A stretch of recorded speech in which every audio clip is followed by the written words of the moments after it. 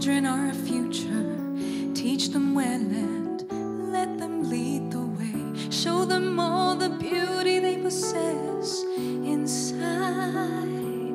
Give them a sense of pride to make it easier. Let the children's laughter remind us how we.